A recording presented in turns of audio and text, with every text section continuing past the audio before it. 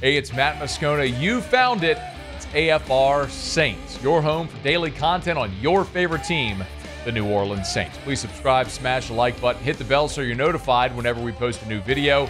And our content this football season is presented by BetUS. Score a 150% bonus on your first deposit and a 125% bonus on your next two deposits up to $2,000 when you use the promo code YouTube150.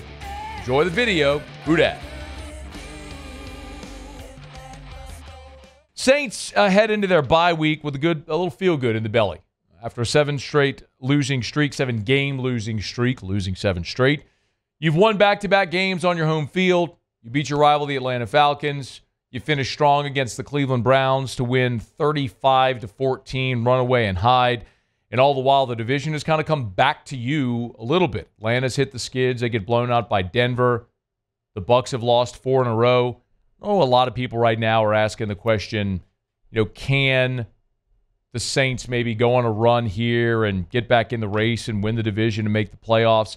I don't necessarily believe that's the case. The team that I would actually keep an eye on they are the uh, not the Atlanta Falcons, but actually the Tampa Bay Buccaneers. If you look at Tankathon, uh, strongest remaining strength of schedule, uh, Atlanta has the 21st uh, most difficult remaining schedule.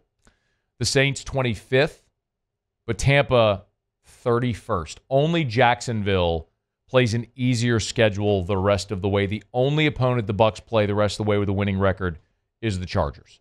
Aside from that, they got the Giants, the Raiders, the Cowboys, the Panthers twice, and the Saints. So if you're looking for a team to make a run, it's probably Tampa.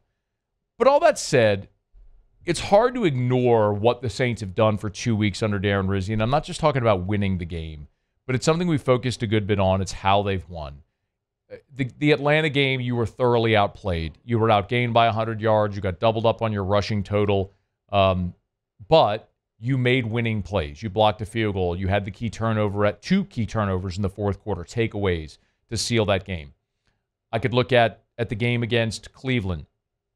I mean, the game, the play that uh, you got a big stop defensively on a fourth down early in the game. Then you turned that into a touchdown late in the game. Tie ball game, fourth quarter. You're at their 33 yard line. You could go line up for a 50 yard field goal to take the lead Instead, you go for it on fourth and two, single wing Taysom Hill, boom, 33 yard touchdown. Place goes nuts. And then the Saints rolled from there the rest of the way. Darren Rizzi's pushed the right buttons. He's got buy in, he's got belief. And it's pretty clear he's instituting good culture around that locker room right now. And not just in the locker room, but also in the city. And that's something Darren Rizzi said when he was uh, speaking to reporters on Monday about how he's kind of been received since being named interim head coach. Yeah, I can't stop by my favorite cheeseburger spot anymore on the way home. So, no, it's it, people have been outstanding. I'm not out in public that often, as you can imagine. This is kind of this is where I am most of the time. But the few times that I've uh, I've stopped for gas or stopped for a cheeseburger or stopped you know on the way home or uh, you know certainly going to the Pelicans game the other night with my boys, the people of the city have been uh, phenomenal and, and no surprise. So just uh, very very welcoming and and uh, really really cool, really awesome. We'll get right back to the video. Want to remind you about our friends over at BetUS all this season here on AFR Saints, and they're giving you an awesome bonus. You get 150% deposit bonus on your first deposit and 125% on your next two deposits up to $2,000. Make sure you use the promo code YouTube150. Let's make our bet for this week, show you just how easy it is to lock in at BetUS. You go to the BetUS Sportsbook, we're going to look for the Saints. So, look, no game this week. So, how about we go make a bet on the Saints in the division? Hit that NFL drop down. You'll see NFL divisions. It'll give us the odds on every team to win their respective division. So, the Saints, two games back right now. But my goodness, the Falcons are flailing. The Bucks have a manageable schedule, but you're right behind them. Could the Saints do the unthinkable? Well, plus 3,000, those are pretty stinking good odds to take a shot. Let's see if the Saints might be able to do it and pull up in a bad division. Small bet, 25 bucks to win 750. Long shot, I get it, but it's worth it for me. I'll place that bet. We'll lock it in. Ask me to confirm. And just like that, we are locked in with the Saints. plus 3,000 to win the NFC South. Crazier things have happened. Have some fun over at BetUS. Make sure that you use that great promo code YouTube150 to get 150% a bonus on your first deposit and 125% on your next two deposits. Make sure you use the promo code YouTube150. Enjoy the video. There is a bit of an underdog mentality there. You know, Darren Rizzi, and I'm bringing this up because a lot of people are starting to ask the question about is Darren Rizzi a, a candidate, a legitimate candidate for the full time coaching job? Look, he's 54 years old and he is a, a coaching lifer. You know, he became a coach as a GA back at Colgate in 1993, and we've run through his career. And the only time that he was a head coach was at New Haven from 1999 to 2001, and then for one season at Rhode Island in 2008. During his time in the NFL, starting in 2009 up until now, he's basically been a special teams guy. So, you know, for the Saints, I think there's two ways you kind of look at this. And I want to be very clear before I, I, give you like a definitive answer and run through my take. Nobody should be making a definitive answer today. It's two games. You have a large sample the rest of the season on which you can judge Darren Rizzi because they're not going to win out. So, how they handle a loss and that disappointment, you'll learn about it. Do they come back and play hard? Can they rebound from that? What's the culture and vibe continue to be like around the organization the rest of the way? So we'll get a bigger sample size of Darren Rizzi and we'll have a better, we'll have more information to be able to make a decision. It's like it's like when you're dating someone. You don't propose to them on the first date or even the second date. I guess some of you do, love at first sight. But for the most part, like there's a courtship and you learn about someone and you learn about their their their great benefits and their great, great character traits, and you learn about their flaws, and you learn if you're compatible, and all these different things. And so you'll have this courtship with Darren Rizzi now through the rest of the season. But when you're making a hire, it basically comes down to if you're looking at Rizzi, are you looking for the coach or are you looking for culture? In the in the perfect world, you could have both. But that's not always the case with with head coaches. And sometimes you don't know it until they become a head coach. Like if I were to ask, who's the best coach? Like Muse Paul, like who would you say is the best head coach in the NFL right now? Currently, I'm not like Belichick's not coach. I'm talking like currently in the NFL is the best head coach. Andy Reid. Okay, Paulie. Andy Reid. Okay, is there a better example of culture and, by the way, a great offensive coach? Mm, no. You, you got them both. Yeah. Right. That's that is bar none, not even a doubt. He's the best blend of both a guy that his players love. And oh, by the way, he's also an awesome offensive mind, how creative he is in Kansas City. We talked a lot about Eric Bieniemy, you know, kind of riding sidecar, sidecar to, to, to Andy Reid. And with Bieniemy sort of leaving, remember he went to Washington, now he's at UCLA. And the whole thing was he needed to escape Andy Reid's shadow to prove he could be that guy as well. Well, Kansas City hasn't missed a beat.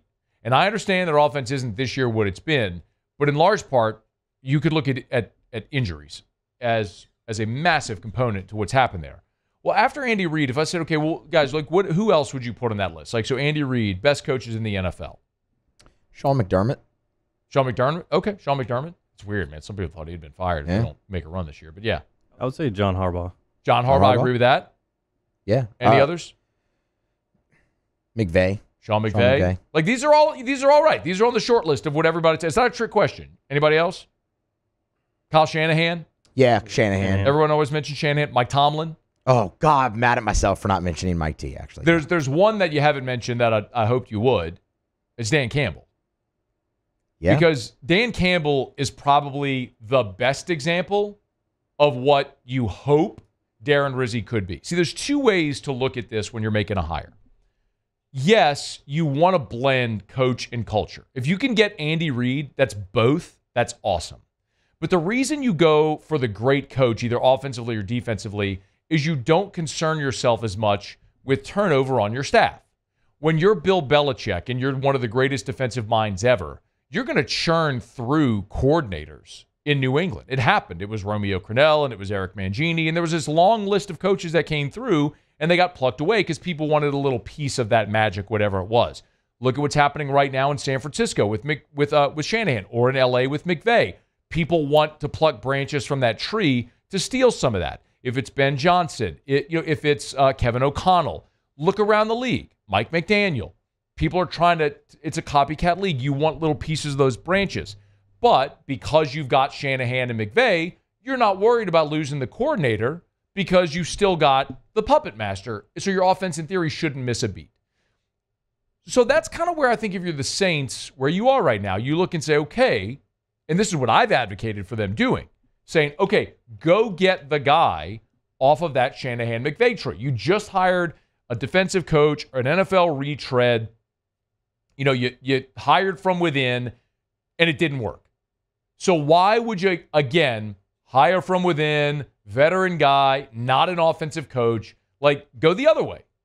Go the opposite of what you just did. Go hire the young offensive mind. Like I've told you, my number one choice is Ben Johnson.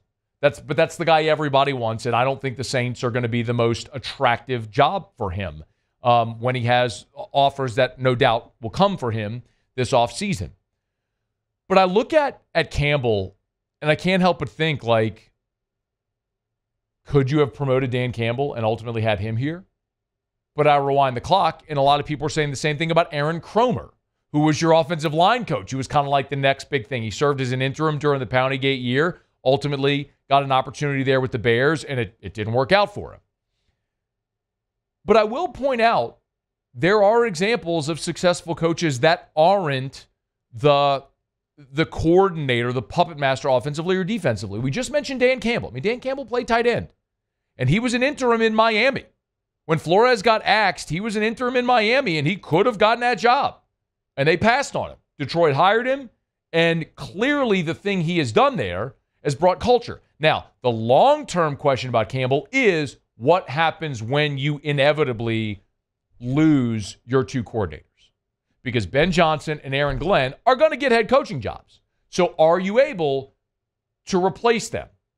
One guy that's been able to do it very successfully is John Harbaugh, whom you mentioned, which is a great comp as well. Harbaugh, John Harbaugh, was a special teams coach, by the way, as well.